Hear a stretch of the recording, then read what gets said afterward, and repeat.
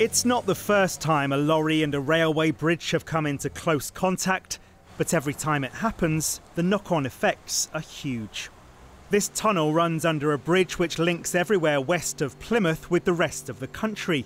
So, August Bank Holiday weekend was less than ideal timing. There were chaotic scenes outside stations yesterday as people queued for cancelled trains and then scrambled for replacement bus services. Yeah, we got off at Exeter and then we told there was a coach to Plymouth and that's it. And we're from yeah. Truro. So um, yeah, we've had to last minute get a Premier Inn. Um, they said it's going to be paid for, but we obviously weren't sure about that. Yeah. And basically been it, isn't it? So we're yeah. now hoping there's a train. we got basically left in the lurch at Exeter St David's station yesterday. Finally got here about four hours, 20 minutes late. Two coaches turned up, went, they were full. No more buses are coming today. There's no, there's no taxis provided, there's no other transport. You've got to make your own way to wherever you're going.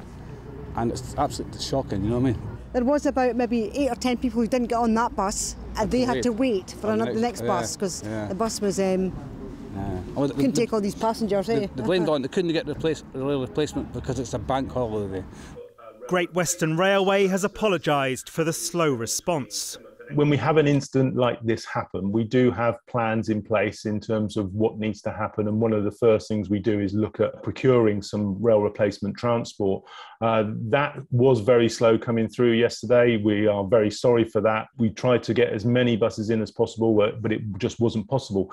Bank holiday is obviously uh, is a, a, big time for holidays and things like that, and it was it was just wasn't uh, uh, possible for us to get as many buses in as we would have liked.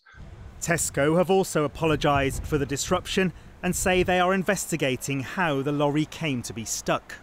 Some trains are now able to run over the bridge at reduced speed, but the delays are expected to last until at least Friday and possibly longer.